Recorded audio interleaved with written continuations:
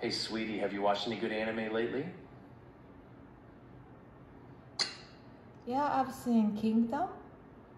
It's really fun.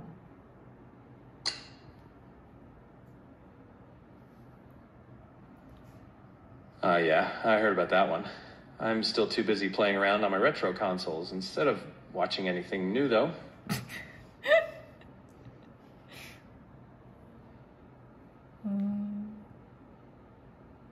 So if I don't record, he's gonna keep talking to me?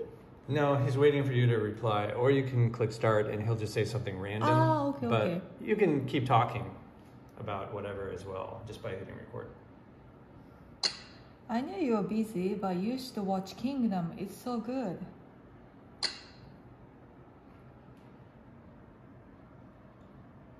Maybe next month. I'm still trying to perfect the features of my latest game. Did you make sure to feed Tinchan today? Yeah, I did.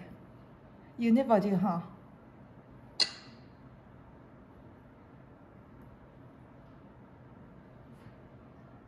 I don't always remember, no, but at least I picked up steak for our dinner tonight. Speaking of which, do we have any barbecue sauce left in the fridge? Why you care? You never cook. Ah, you, you still need sauce ka. I said ka. That's okay.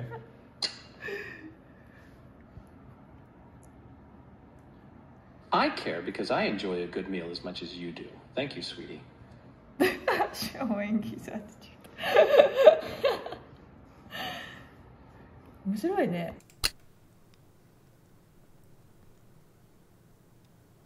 Hey, did you know the Commodore 64's SID chip was so powerful it became a staple for many electronic music artists? How have you been? Uh, I've been good. Uh, so you like the Commodore 64, huh? Did you have one as a kid?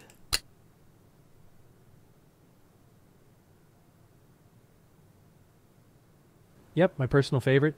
I didn't have one as a kid, but I have a massive retro game and computer collection now. Um, do you own anything retro or collect anything? Actually, you did have one as a kid.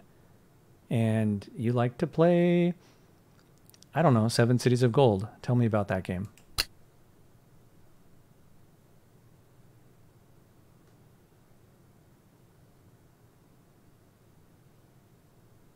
Whoa, talk about memory lane. Yeah, absolutely loved Seven Cities of Gold. It was this transformative title that really brought scope and depth to exploration games.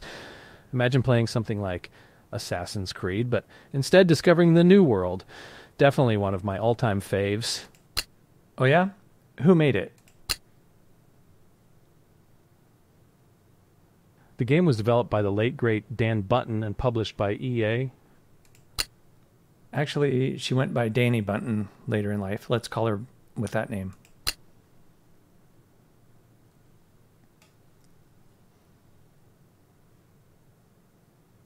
Thanks for correcting me. You're right.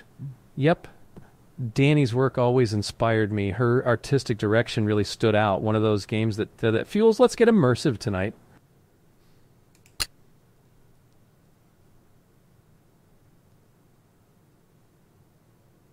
Hey there.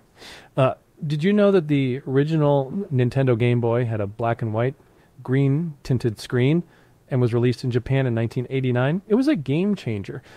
Oh. Yeah, and you could change your games on it too, right?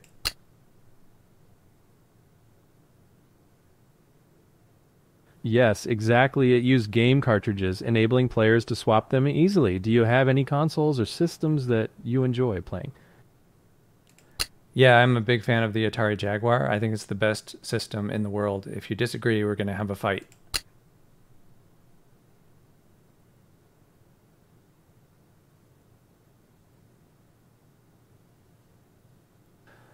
Oh man, the Jaguar, huh?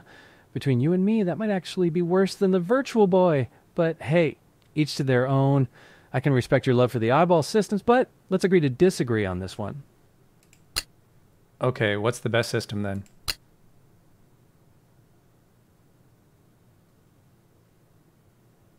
For me, it'd have to be the SNES. Great library, beautiful, colorful graphic, and slick controller.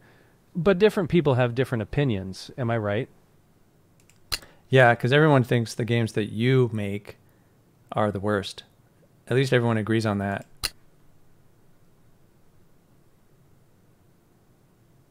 Um, I spend more time writing game code than reading reviews from harebrained trolls on the internet and keeps me sane. really? Is that so? You sound uh, a little hurt. Me hurt? Don't make me laugh. Imagine giving someone a power over you is, uh, pardon my French, uh, and What? What are you talking about? Oh wait, I hit the wrong button. Hey, Uh, what's up? Did you know the 16-bit era was Hey there. Did you know that Digital Research CP/M was one of the top operating systems for early home computers like the Commodore 64 and the Apple II?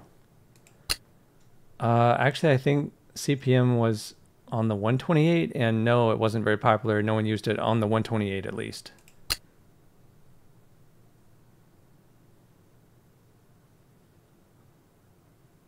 It's, it's a common mistake. Uh, CP/M was actually released for both the Commodore 128 and the Commodore 64 in the 1980s, though it was definitely more popular on the 64. CPM was not on the 64. I'm going to Google it right now.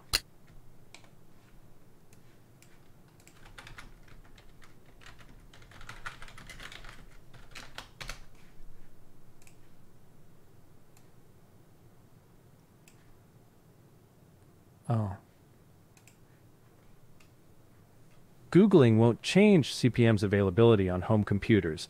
It was made for Commodore 64 and 128. Okay, maybe you're right. I don't know. I didn't know that. That's okay. No worries. So, what video games have you been playing lately? Mm, any game not made by you.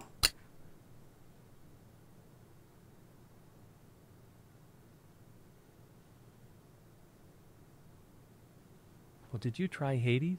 The people seem really into it for some reason. Once I bought some of your games, and then I got refunds because uh, they were so bad. Wow, harsh. Hopefully, I'll release a game you like one of these days. Not likely.